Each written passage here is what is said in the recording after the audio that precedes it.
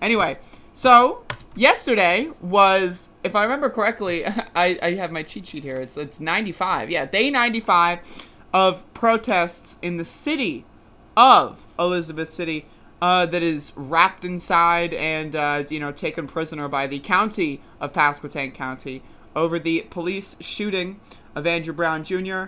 So we had a smaller group yesterday, and we did downtown sidewalk demonstrations throughout uh, the major restaurant areas on Saturday morning. A lot of people trying to enjoy their brunch, and uh, we were protesting, and it made them very upset. As you know, I am a big fan of brunch, huge fan, huge fan.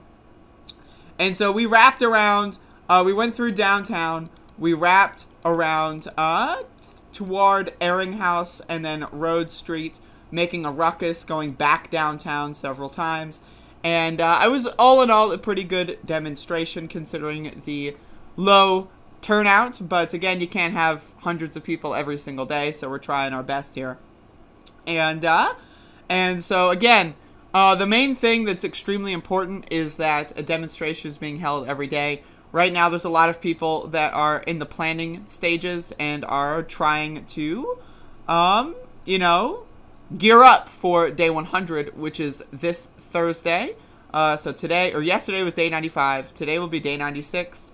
Um, then day 97, then 8, then 9, and then 100. Uh, and so that should be landing on a Thursday if my math is correct. I mean, let me just verify this. I don't know. I'm going to do math live on stream. So it's 96, 7, 8, 9, 10.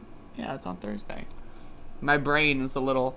I did a lot of drugs yesterday. But anyway, so uh, yesterday we did, uh, we had a lot of good, uh, you know, interactions from people in cars. A lot of people showing solidarity while they're on their way to work and stuff like that. And uh, so again, that's really something that's super valuable when you see that kind of stuff. Like there's so many people that can't come out and directly participate in demonstrations, but um, they uh, you know, they will show support, and that's a good thing because it really shows you that you know the city as a whole is supportive of the protest movement, and it's not just like a handful of people that are doing it. It's actually like you know a lot of people are very supportive. They just do not have the means um to be able to show up every single day or that kind of stuff. And so again, and it's also super fun when you're walking down the street doing a demonstration and you see someone that you know from a protest who is on their way to work and you know they have a stop and chat conversation and you know it's it's it's just you know it's a really heartwarming experience. And again, I just want to say I'm super proud of Elizabeth City for holding down the fort for 95 days in a row. It's incredible the uh you know just the absolute and and you know the grit uh for this is just it's something else and again uh we did a good job and i hope everyone um enjoyed you know our demonstration. That was you know day 95 folks in the books. In the books